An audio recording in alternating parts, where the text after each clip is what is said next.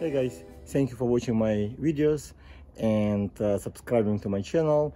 If you have not subscribed yet, hit the button below, subscribe, like the video, and let me show you the difference between these two bikes I want to talk to you about today. So these two bikes, one is uh, Jetson Bolt with the red wheels, and this uh, Lamborghini color, it's a Phantom C1. And I want to show you the difference between both of them. Both of them looks really cool, but they're a little bit different. As a price difference, also the quality difference. Okay, so first I want to tell you the weight. So the Phantom C1 weight 36 pounds included the basket. Okay, so let's say 34 pounds for Phantom. The Jetson Bolt weight 34 pounds even without basket. All right, Phantom have a key to start it. And when you twist once it will start if twist twice the light will be on with a Jetson bolt it's very simple Oops. it's not that stable but it's only button over here you press it and it will start you'll have also battery light here. It comes with a cruise control. Also it comes with a light and the light switch right here. When you switch the light on you'll see the light. The difference the light also. This light it's already built in non-adjustable with phantom. You can adjust it up or down looks like it's a little bit brighter but I'll run another test for this. And also the difference when you're turning the wheel like this you will see the tire turn but the light stay in the same place. Same thing with this bike but the light moves together with your front wheel so it means you get better lighting at night. That's a difference then um, phantom comes with two brakes one front, one rear. Jetson Bolt comes with one rear uh, brake. Then both of them come with a manual bell. About same quality, same um, seat, looks about the same. Uh, but I noticed they look the same, but Jetson Bolt a little bit softer. And Phantom C1 it's kind of firm very firm. I don't really like it because it's very firm. Jetson Bolt softer but you can always change it. Then it comes with a basket real nice to have it. And there's fender or protective for the mat protector or whatever you call it. Also it comes with a light on the back on Jetson Bolt. On this bike you have only reflection. Okay. As you can see also the lengths they are different. The seat can go right now both seats all the way to the up and you can see the phantom seat about four to five inches taller but it doesn't mean it's better. Um, I noticed there's problem with that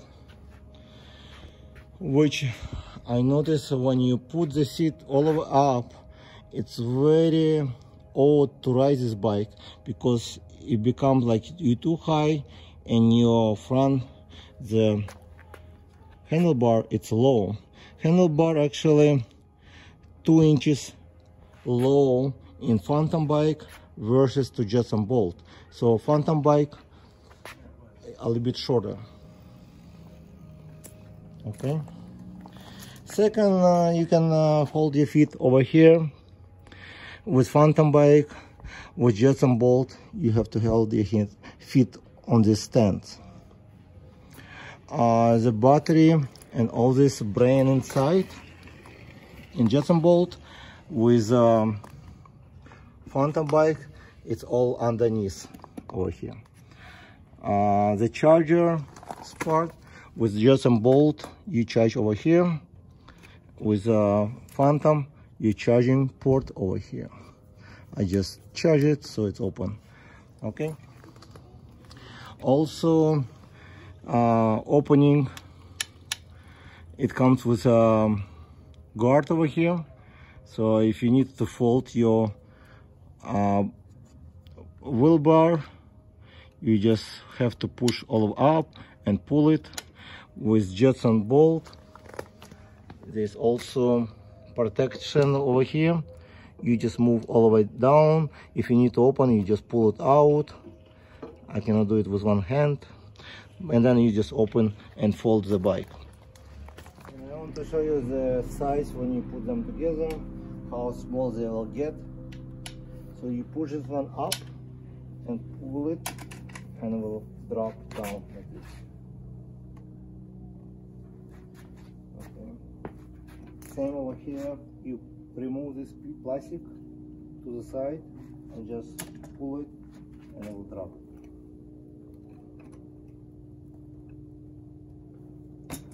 It will not stand okay the Jetson bolt will not stand by itself because it does not get good balance. So I'll put it back up. And I want to show you inside how it looks. So basically it's a since it's a just stain it's very thin and I heard people have some bend it or broke it. And that's how it looks. The handlebar and um, I'm gonna close this one and then just push this one down over here. And uh, also bolt cannot really stand well. It's very easy to fall because the way it stands it's not uh, really stable. With this bike you got stand different angle so it's kind of better grab to the ground. So it's basically have better balance okay so the difference also over here you can see how thick it is. Since it's aluminum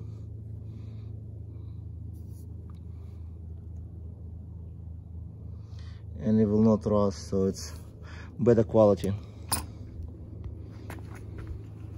And you cannot really bend it as it's very thick and strong. Aluminum it's much stronger. And you just close it and that's it. You don't have to do anything also about the tires. Since um, I this is the same size of the tires only the difference this bike comes with uh, two brakes the front brake but you will see it's exactly the same rim. They use just different color.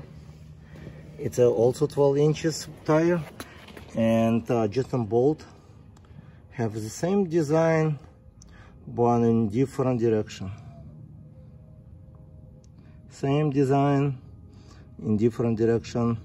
As you can see it's actually same way it was done here. And if you look over here it's exactly the same type of rim.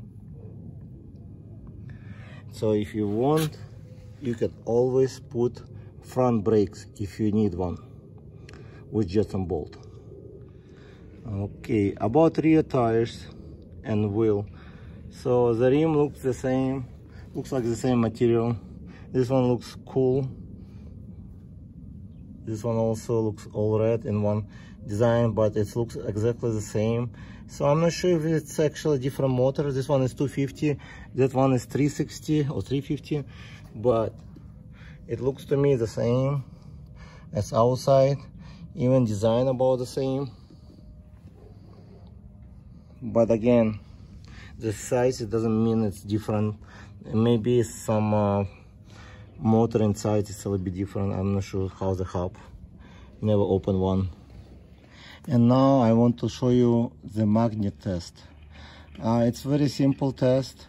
You will check if it's made from steel or aluminum or other metal okay? So this magnet will stick to steel. And very simple you just stick like this so let's do the test we already know the Jetson bolt made mostly from uh, steel, iron, it um, can rust easily. With this test, show me it will not stick, so it means it's not uh, steel, it's most likely aluminum. This one as well. Oh, also I want to show you the difference between this way. I like this way it made, so it will be rounded. With Jetson bolt, you can see it's very sharp. And you can hurt yourself. So it's kind of another thing I didn't like about Jetson bolt. And this one is dangerous. Sharp. If you hit it you're gonna have a scar over here. It's rounded. Okay? So this one aluminum. This one is metal. Uh, the bar also doesn't stick so it's most likely aluminum this one is sticking so it's metal. Uh, the seat pole it's um, aluminum. We Jetson bolt. It's metal. The basket looks like also aluminum. It does not stick. Maybe it's stainless steel but it's not um, cannot like so it's not really yeah it may be stainless steel but again it's it's better than it will not get rusted. Um, the frame itself also aluminum. That's why the weight about the same but the phantom bike looks like have more frame. And it's all aluminum i also noticed the fork. It's metal but the frame aluminum. With Jetson bolt it's all metal. I already tested but I'll show you again so you'll see it stick to it so it can rust easily. These are two bikes. Uh, please uh, comment below which one you think is better uh, the speed about the same unless you do hack to Jetson Bolt. With the Phantom, I'm not sure if you can do it because I don't think there's Bluetooth and I'm not planning to do it because I'm gonna ride with a kit and the 50 miles per hour it's pretty much what I need on this bike. Jetson Bolt can go up to 90 miles per hour and uh, if you do the hack. I'll put a link in description for Jetson Bolt, how to make this hack speed. I want to thank you for watching this video and I'll see you in the next video.